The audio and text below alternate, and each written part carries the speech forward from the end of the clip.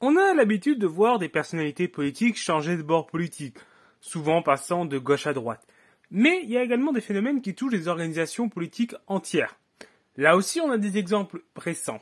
Mais ce qui m'intéresse, c'est lorsqu'une organisation politique, sans changer profondément d'idée, d'idéologie, en gardant globalement le même programme, passe quand même de gauche à droite.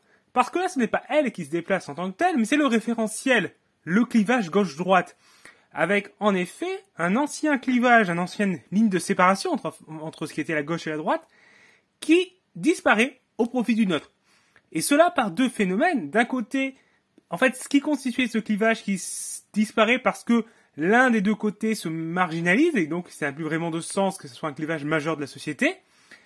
Et de l'autre côté, on a un nouveau clivage qui émerge, souvent du coup avec les deux anciens euh, camps qui s'opposaient, qui étaient d'accord sur ce sujet, globalement, et un camp qui apparaît du coup qui est en désaccord avec eux. Et du coup, on a une nouvelle gauche qui apparaît, qui, du coup crée une nouvelle droite. Et ça, on a euh, des exemples de notre histoire, notamment avec les modérés et les radicaux durant la Troisième République. Mais si vous voulez en savoir plus sur ce sujet, on a fait une vidéo sur la chaîne YouTube Histoire d'apprendre où on analyse et on essaie de comprendre ce phénomène. Donc euh, je vous mets le lien en description. N'hésitez pas à aller la regarder et à la partager. Au revoir tout le monde.